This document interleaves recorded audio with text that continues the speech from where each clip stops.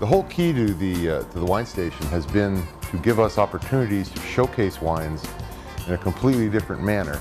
This room, for whatever else it has become um, uh, for the public, which is now what it was before was a, a, part-time uh, venue, part-time storeroom, part-time workroom, part-time lunchroom. It really didn't generate a lot of income.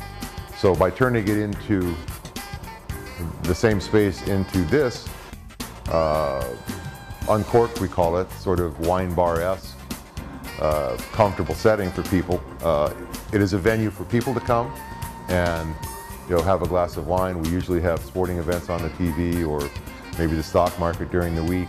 Uh, a place for them to come and try wine, sit down, talk to each other. Sometimes people will bring their friends and they'll come and you'll have a couple glasses of wine before dinner, which is, you know, that's optimum. But also, the staff congregates in here after hours, or maybe they'll try a couple of things they wouldn't normally have the opportunity to try on their way home. So it facilitates our own in-store education as well as uh, what what we can do by reaching out to the public with the programs. What the WineStation allows us to do is to have that type of opportunity available to the customers all the time.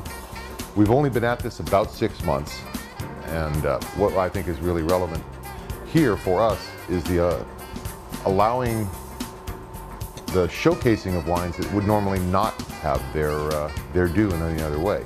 Yeah, you can have a, uh, a Cabernet tasting, you can have a, uh, a Chardonnay tasting, and you'll get people to come. There, were, you know, there's enough activity in those uh, arenas that there's enough people interested that they will patronize the tasting.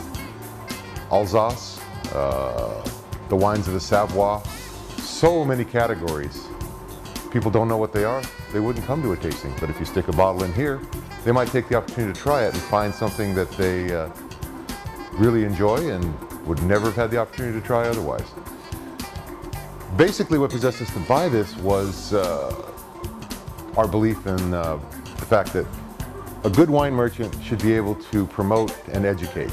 That's key to uh, what we do.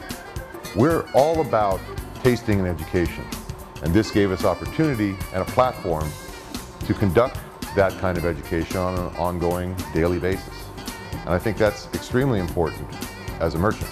We just didn't do things that uh, we knew were had a high risk of spoilage or uh, or deterioration because uh, that you know served no purpose. We've under we've underwritten a lot of tastings in the past where we've tried to uh, come out and say we're going to do this tasting on this day, come heck or high water, and we'd do it, and nobody would come. So we'd have we'd end up wasting uh, a great number of wines for no gain.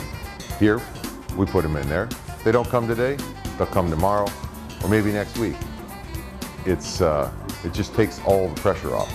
Our belief in, in, in wines is the best way to make yourself relevant to, uh, to your customers is to create opportunities for them to experience other things than, than they're normally used to drinking. As far as the setup, it was easy.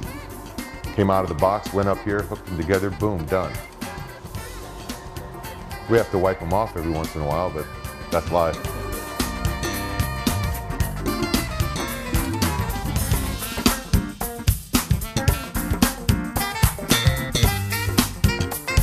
This is the most fun you can have wine. This is fun.